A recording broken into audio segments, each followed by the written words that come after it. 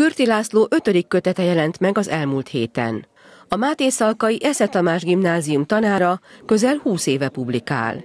Első önálló kötete 1999-ben látott napvilágot. A szerző, aki a Vörös Postakocsi című folyóirat szerkesztője is, a vallomásos líra karakteres képviselője a kortás magyar irodalomban. Verseinek témáit leggyakrabban a magánélet, a gyermekkor, a családi és szerelmi viszonyok nehézségei emlékei adják. Költeményei szinte prózaian egyszerűek.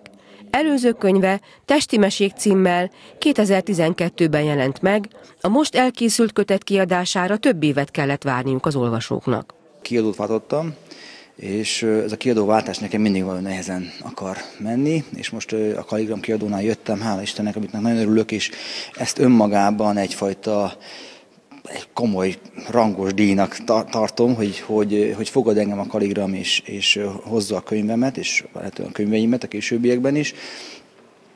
Valójában ez már régen megírt mm, szöveg, mennyiség, együtt, szerkesztve, három éve készen van ez a könyv.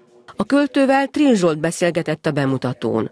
A színművész úgy véli, a szerzővel számos dologban hasonlítanak egymáshoz. Szerinte Kürti László versei dac és keménység, ugyanakkor humor jellemzi. Annyira nehezek és izgalmasak, meg ne, nagyon egyedi hangzás az egész. Hát szerintem ő maga aztán, amikor megismertem, akkor rájöttem, hogy az ő habitusából fakad az egész, természetesen.